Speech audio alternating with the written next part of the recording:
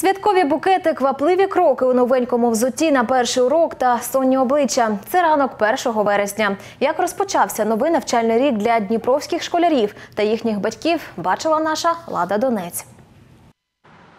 Вже багато років поспіль незмінний атрибут 1 вересня – квіти. З ними на вулицях Дніпра ледь не кожен другий перехожий. Продавці букетів кажуть, бум був напередодні ввечері, але сьогодні зрання теж чимало охочих відхопити найкращий букет. Букети, хто як, хто як бере, хто по одному, хто букетами бере.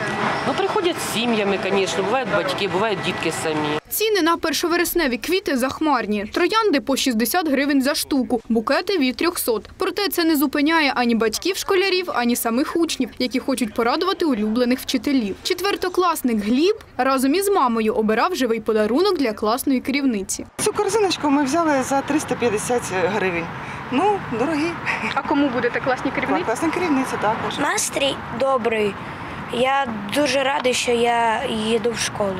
Даніела Чеботарьова хоче ощасливити свою тренерку у спортивній школі. Я дуже хвилювалася і перейшла у новий клас. І дуже сподіваюся, що все буде добре цього року. А у п'ятикласника Данила Федуненка незвичний презент. Святковий букет власноруч зробила його мама. З кольорових олівців створила яскравий горщик. В школу йти хочеться. Ну, Но если каникулы мало, то нет.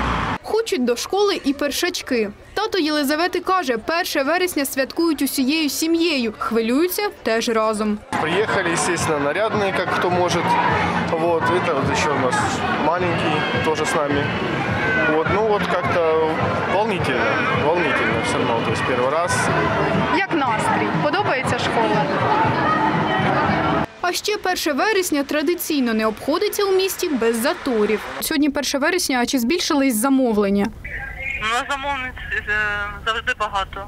А от сьогодні саме ну, не було такого буму, можливо, якогось. Кожне утро такий бум.